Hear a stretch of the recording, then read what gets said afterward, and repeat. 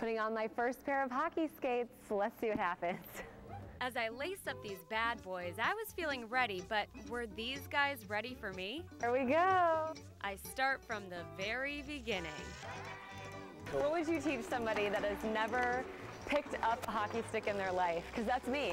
Number one is skating. You Correct. Can't skate, you can't play. Stick handling, so you can kind of catch and receive the puck. Being able to shoot them would probably be third.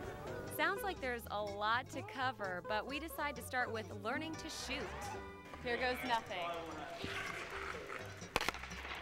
Wow. But my second shot goes better. Yes, yes, there we go. Then the McDonald's. It's a basic drill these guys do. Still not sure why it's called that, but they tell me it's also called the horseshoe or the banana. Now remember, Okay, so I'm not a pro, but at least I'm trying. Now I need to learn to stop. Maybe if I just take it slow.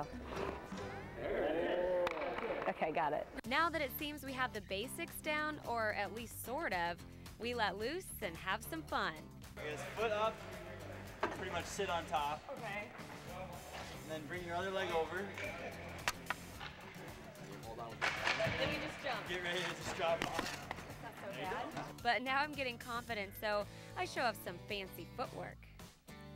Yes, I was even brave enough to try goalie.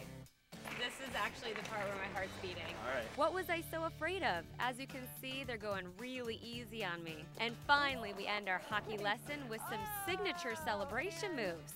Let's just say this is where it gets graceful.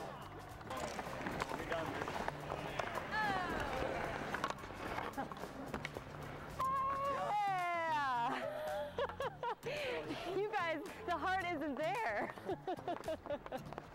I like it. I like it. Thanks, Cedar Rapids Rough Riders. I had a great time, and now I know how to play hockey, thanks to you.